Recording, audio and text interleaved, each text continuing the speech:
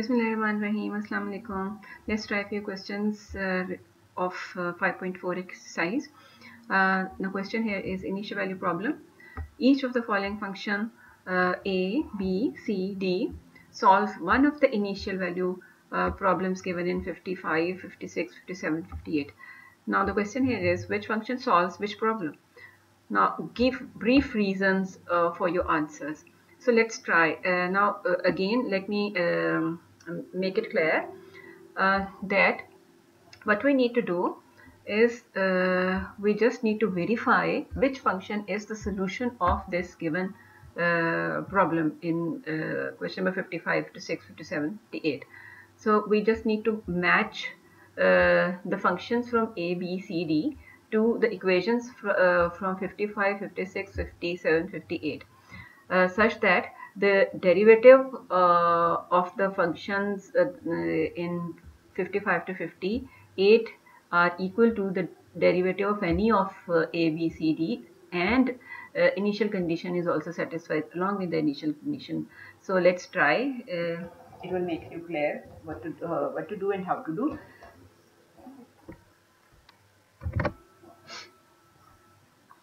And let's start with. So in part A, derivative dy by dx is equal to uh, d by dx of integral 1 over x 1 uh, from x 1 to x of 1 over dt minus 3.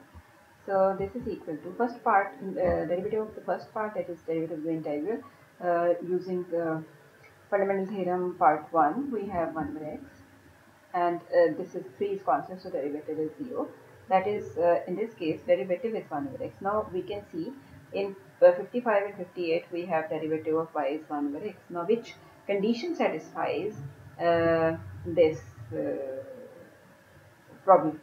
Now let's see. In this case y pi is minus 3 that is we have to check uh, integral from 1 to pi 1 over t dt minus 3 is minus 3 or something else. And in this case we have to check integral from 1 to 1 just replace 1 y1 means replace x by 1 uh, in the expression of y.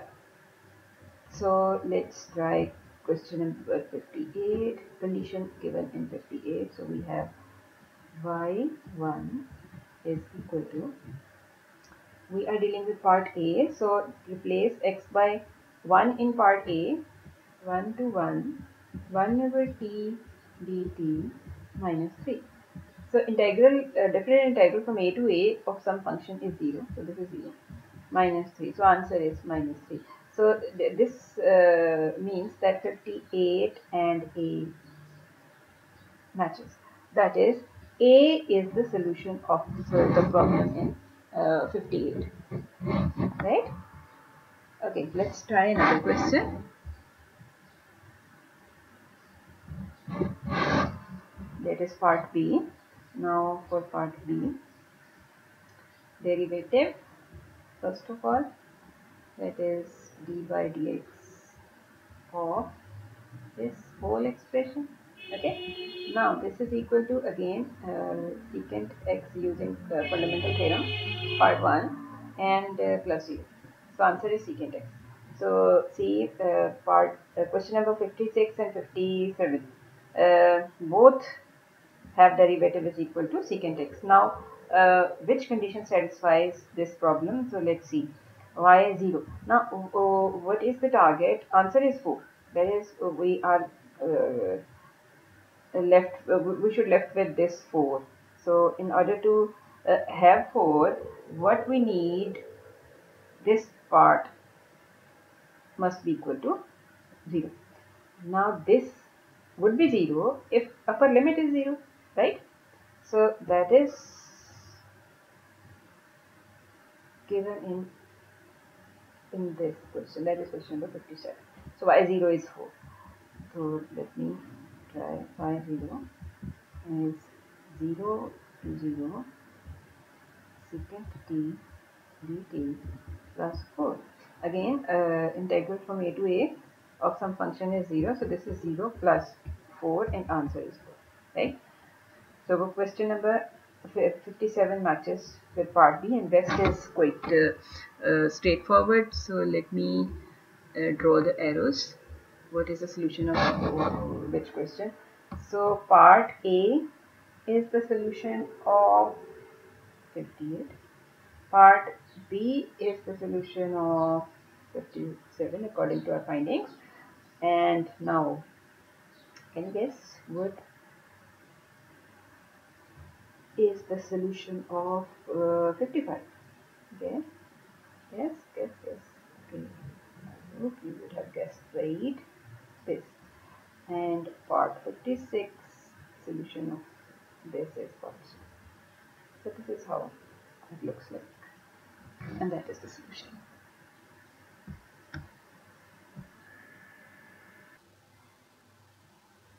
Okay, now keeping this technique in mind, uh, we can solve uh, question number 59 and 60. So let's try. Express solution of initial value problem in excess 59 and uh, 60 in terms of integrals. See, uh, from 58 to 58 we have uh, differential equations and their solutions are integrals, right? Okay, and this uh, constant actually depends upon their conditions right uh, what we mm, actually sorted out uh, a is the solution of 58 right so condition here is y1 that is x is 1 if lower limit is equal to the upper limit then there must be the constants which is same as uh, the value of y at 1 right? So let's try and uh, find out the solution of 59 okay 59 in case of uh, 59 we have dy by dx is equal to secant x. Okay so y2 is equal to 3 so what we are going to do y in this case must be equal to integral from a to x. A here is 2 2 to x. Secant t. Dt okay? Now uh, just differentiate this using fundamental theorem part 1 uh, dy by dx is secant x. So uh, this equation is satisfied right?